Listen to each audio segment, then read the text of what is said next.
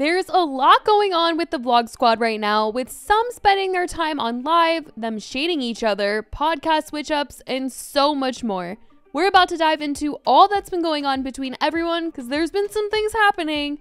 I recently talked about the fact that some of the members of the Vlog Squad have been going live on TikTok, battling it out for gifts on the app. People have been reacting to it a ton and haven't had the nicest things to say about the fact that they've been taking over on some people's For You pages. And now some members of the Vlog Squad are talking about those who have been battling it out and they definitely think it's embarrassing. On Zane and Heath's Unfiltered podcast, they had Trevor Wallace on as a guest recently, and we're talking about those who go live on TikTok. And they were definitely throwing some shade at those who spend their time asking for gifts, saying there's really no amount of money that could get them to participate in something like that. Why is everybody going live on TikTok now? Is that Apparently, the there's a lot of money. money. in it. Mm.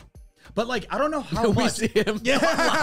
Apparently, the money the money there is, is, okay. big. Is- you make good money when you do the battles. That's when they're like all like, all right, come on, let's get us to like this many Oh, likes and this many no. hearts. Every Come time on, I see guys. that, I need to see the amount that they make after one battle. Like, There I is- just need to there see what is they're no doing that amount. for. There is no. Oh, amount. there's there's there's uh, there's no amount I'll do. There's no no way. What's your price? It looks to- crazy. Man, I just I think it's one of those things where I wouldn't catch myself. Like I would do it and then I would like say it to a friend, be like, "Oh man, I can't tonight. I got to go live on." T- I should probably not do that. You know, Yeah, like, yeah, yeah. like I think once I like talked about it. But like 40 hours a week. What's like the? Oh man, I mean, I need a Joe Rogan type deal for that. Yeah, I, I need a guar- ten Get million some like guarantee. exclusivity. Just feel if I feel like the audience knows that it's like he doesn't want to do this. I'd rather make less money and do what I love. Zane tried to say that some people are actually good at going live, but for the most part, they all seem to think that nobody actually really wants to be doing that. And when it comes to groups of friends doing it, one of them has got to be thinking to themselves, they don't actually want to be there asking for gifts. I'm not gonna lie. There's some people that are really good at it. Like they, I feel like they Yeah, really yeah. do want to be there, and they're really interacting with the people that are gifting them. And I always cringe when it's like the Like the- four no, the friends and they're all like committing to do like the live Yeah. together. But I'm like, one of these friends has to be like, guys, can we please cut this? Like, He's texting I'm, the group I'm chat. so like, made enough money yet? Yeah, like I, one of them has to not be enjoying it. And when I was watching this, I was just like, maybe they don't know that their friends are literally out there on TikTok Live asking for gifts, battling it out, but they are aware. Zane literally ended up bringing up the fact that he sent Jason money once during one of his live stream battles. I did it. Heath, I did it for Jason. Wait, there's, there's Wait, you what? did it for Jason? yeah, I gave him a Galaxy. Oh, you should have seen his reaction. He was flipping. He was doing backflips when I What's, said a, that what's Galaxy. a galaxy equivalent to? It's- Oh, like it's like, 10 20 bucks. bucks. Yeah. But dude, thi- kids are gonna run their parents' accounts dry because of this. oh, oh Kids big are gonna bankrupt mom and dad by sending Galaxy. I'll tell you right now, if I found out my kid was sneaking using my credit card to pay for Galaxy Yum Yum But hot sauce, I would do be, it. I would be livid.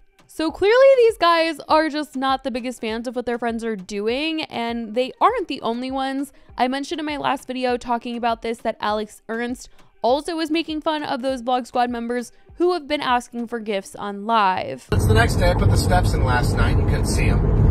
And, uh, well, it's 1 o'clock in the afternoon right now.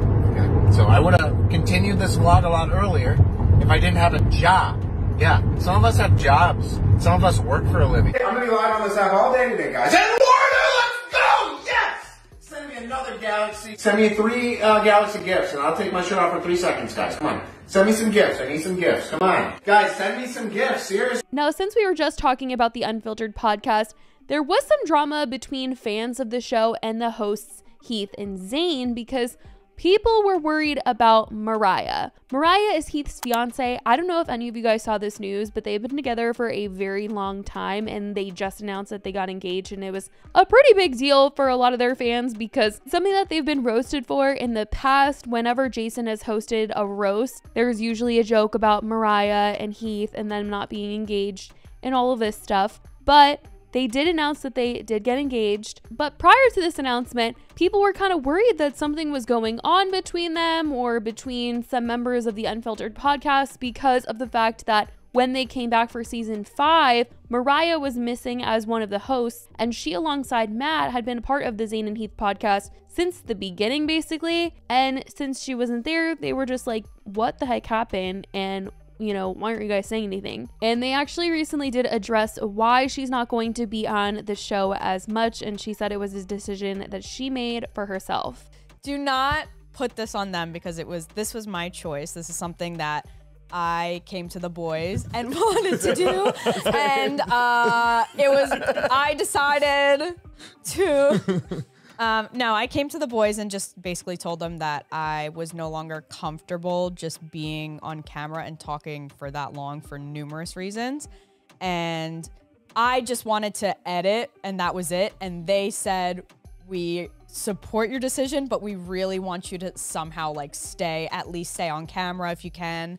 If you want to chime in when you want, whatever. So I wanted to like be cold turkey and just be completely behind the scenes because that's where I'm most comfortable. Yeah. But um, we found like a middle point, and I thought this was a safe option. Mariah talked more about her decision to leave and how she's just been feeling on the podcast, really being hard on herself about it, and that being a big reason as to why she doesn't want to do it anymore. one this is one of my biggest issues is I have I always do this to you when we're at home. I have trouble, Zane and I have trouble Thank you. taking what's happening up here and what we're thinking and like pouring it out of our mouths. And that's very frustrating for me. So it's hard for me to get through an episode without being disappointed in myself. So I'm just like, Be it's like a lot of anxiety and it's very like I'm very hard on myself and I everyone's gonna be like, oh, you sound fine, like who cares?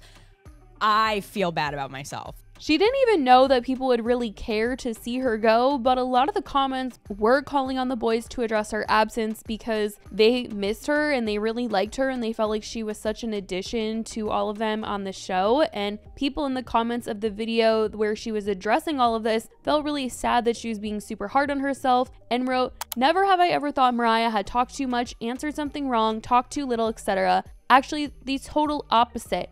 Mariah, you gave so much to the podcast. You are funny, intelligent, and a beautiful woman. And the fact that you want to leave yourself behind the scenes makes me so sad. I hope she sees these comments and realizes how loved she is. It's not the same without her. Mariah is literally the biggest reason I listen to this podcast. Her humor is something I hugely admire about her, and her storytelling is the best. She is so quick and witty. I love her. Wish Mariah realized how much talent she has and how much everyone watches this podcast because of her. Like someone else commented, every episode without her has felt like a chore and very hard to finish. I love you guys, but it literally is boring without her. Breaking in with her humor. Love you, Mariah.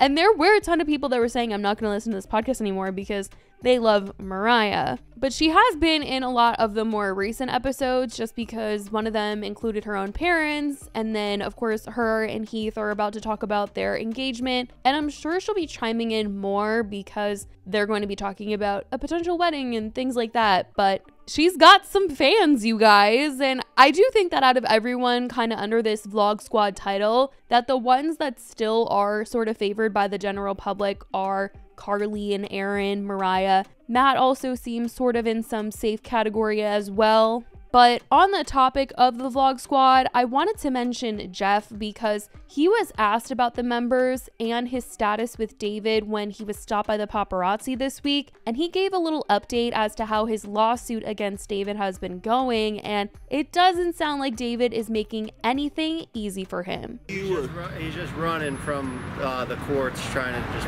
make up a bunch of lies and try Okay. to use money to force me out, the, the smaller guy. But we're fighting it. I got the power, of the people support Wow. behind me. I feel the support. I feel the love from the people that see the truth, and that's what keeps me going, man. running away, huh? Maybe David thinks that the longer that he can drag this out, the more money it'll cost to Jeff and he will just drop it. But fortunately, Jeff has said in the past on Jeff FM that he is working with some really good people on this. And this will hopefully not be the case where, you know, David is just like sucking the money out of him. I believe that Jeff is in a scenario where he won't have to pay anything unless they win. At least that's what I believe he said the last time he sort of talked about this in like the lawyer situation. But hopefully justice will be served soon. But as of right now, that's pretty much what's been going on. Let me know what you guys think about the fact that Zane and Heath were kind of throwing some shade with Trevor Wallace about those that were going live. If you saw anything about Heath and Mariah's engagement or the fact that she was leaving the Unfiltered podcast, and what Jeff had to say about David. Let me know all your thoughts. I love you guys so much, and I will talk to you in the next video. Bye, guys.